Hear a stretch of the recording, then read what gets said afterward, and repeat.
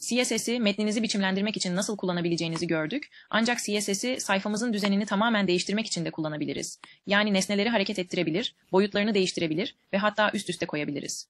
Peki ama hareket ettirmek istediğimiz şeyler nelerdir? Bazen belirli bir paragraf gibi önceden oluşturduğumuz öğeler vardır ya da belirli bir başlık. Ancak çoğu zaman bir grup öğeyi aynı anda tasarlarız. Bir metin seçkisi veya bir başlık ve birkaç paragraf gibi Bunları bir birim olarak birlikte hareket ettirmek için gruplama elementleri adını verdiğimiz iki yeni HTML etiketini tanıtmamız gerekir. CSS'ten önce bunlardan bahsetmemiştik. Çünkü bunlar yalnızca CSS ile birleştirildiklerinde işe yarıyorlar. Tarayıcı için semantik bir anlamları yoktur. İlk etiket span etiketidir. Ve bir metin seçimini gruplamak için kullandığımız şeydir. Diyelim ki bu love kelimesini kırmızıya boyamak istiyoruz. Ve sadece kelimeyi renklendirmek istiyoruz, başlığın geri kalanını değil. İmlecimizi love kelimesinden öncesine getireceğiz. Başlangıç etiketi olarak span yazacağız. Sonra bitiş etiketini yazacağız. Tamam şimdi bu karakter aralığını stilize etmek istiyoruz. Sayfadaki tüm boşlukları renklendirmek için bir kural oluşturabiliriz. Ama hepsinin kırmızı olmasını istemeyebiliriz. Span'e Lovey Dovey adlı bir sınıf verelim.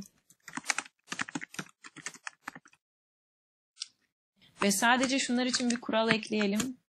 Lovey-dovey sınıfına sahip elementler. Nokta lovey-dovey kırmızı renk. Bakın bu metnimiz şimdi ne kadar sevimli oldu. Yani spanner metin seçimlerini gruplamak için iyidir. Peki bir grup elementi nasıl bir araya getiririz? İşte burada div etiketi devreye girer. Diyelim ki bu alt bölümü gruplamak istiyoruz. Bilgi içeren başlığı ve altındaki paragraflar ve görseli kastettim. Bunu yapmak için imlecimi H3'ün önüne koydum ve div'i başlangıç etiketi yaptım. Ve sonra son paragrafa gidip div'i bitiş etiketine yazdık. Bir divimiz var, şimdi onu biçimlendirmemiz gerekiyor. Div'i biçimlendirmek için ona bir ID vereceğim. Resmi bilgi diyelim. Sonra da buraya bir kural ekleyelim. Etiket, resmi bilgi ve arka plan. Ve bunu güzel bir gri yapalım, seçelim Şimdi divin içindeki tüm elementleri içeren gri bir kutu haline geldiğini görebilirsiniz. Tabii bu durum her birine ayrı ayrı gri bir arka plan vermekten farklı. Bunu yapsaydık aralarında gri olmayan bir boşluk olurdu. Her şeyin etrafında bir kutu olmasını istiyorsak bir div yapmamız gerekir. Span'i, metinleri gruplamak için düşünebilirsiniz. Elementleri gruplamak için ise div olmalı. Ancak bunları ayırt etmenin başka bir yolu daha var. CSS dünyasında inline ve blok olmak üzere iki tür element vardır. Satır içi yani inline elementinden sonra yeni bir satır gelmez. Mesela bunlardan birden fazla yaparsanız hepsi aynı satırda olacaktır. Bahsettiğimiz örneklerden biri de A ve görseldir. Bu görselin yanındaki metnin içine nasıl girdiğini görebilirsiniz. Ondan sonra yeni bir satır yoktur. Bir blok elementinin ardından ise yeni bir satır gelir.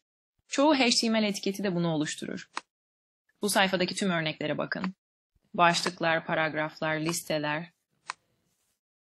Tarayıcı bere etiketi yazmanıza gerek kalmadan hepsinden sonra yeni satırlar eklemiştir. Bunun span ve div ile ne ilgisi var?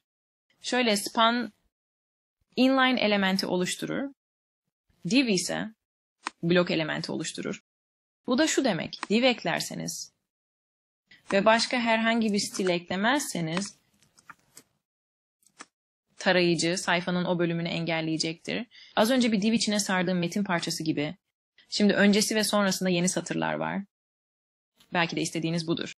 Sadece bu farkı aklınızda tutun. Ve denemeye devam edin çünkü bu etiketlerle özellikle de div ile yapabileceğimiz daha çok şey var.